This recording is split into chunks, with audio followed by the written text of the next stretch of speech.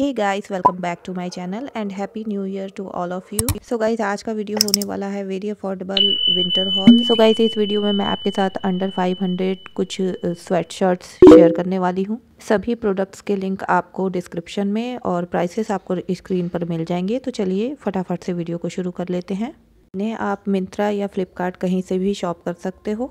सो so पहला piece है मेरे फेवरेट ब्रांड रोस्टर से। ये वाला जिप क्लोजर के साथ आता है। इसमें आपको फुल स्लीव्स मिल जाएगी एंड इलास्टिक वाली डिटेलिंग मिल जाएगी। लेंथ काफ़ी अच्छी आ जाएगी इसकी एंड नीचे के साइड में भी इलास्टिक मिल जाती है। जिप की क्वालिटी भी काफ़ी अच्छी है एज यू कैन सी अगर मैं फैब्रिक की बात करूँ तो मीडियम थिक आएगा। अंदर आपको कोई स्कीवी पहननी होगी, इसे पहनने के लिए। बाकी हल्की ठंडियों के लिए परफेक्ट होने वाला है। फ्रंट साइड में आपको दो पॉकेट्स भी मिल जाती हैं। उसके साथ ही आपको इसमें कैप भी मिल जाती है। तो इसे मैं हल्की ठंडियों के लिए ही रेकमेंड करूँगी। अपने साइज़ के अकॉर्डिंग ही पिक करना फिटिंग अच्छी आएगी। प्राइस के अकॉर्डिंग क्वालिटी अच्छी लगी। दूसरा वाला पीस भी टेन ब्राउन कलर में आ जाता है। ब्रांड है टोक्यो टॉकीज। फैब्रिक काफ़ी थिक है। अंदर आपको फर वाली डिटेलिंग पूरी मिल जाती है।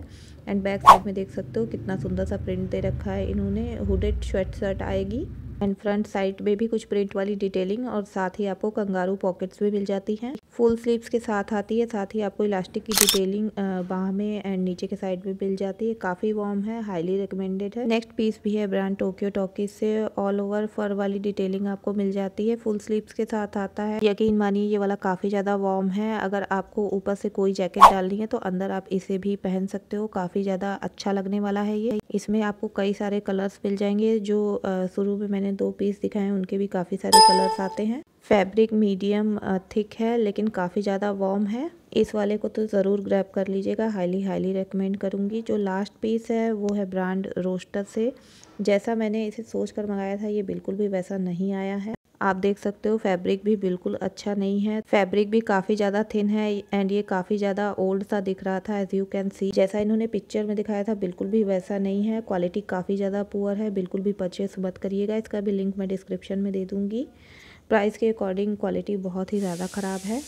मैंने रोस्टर के काफ़ी सारे हॉल्स किए हैं बट इतना ख़राब पीस मुझे कभी भी रिसीव नहीं हुआ था। रोस्टर अफोर्डेबल प्राइस में काफ़ी अच्छे प्रोडक्ट्स अवेलेबल कराता है, बट ये वाला बिल्कुल ही बेकार था।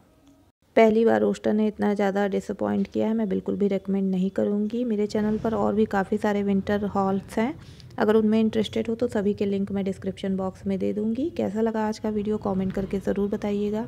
वीडियो अच्छा लगा हो तो लाइक करना मत भूलिएगा। मैं मिलती हूँ आपसे नेक्स्ट वीडियो में। Till then take care bye bye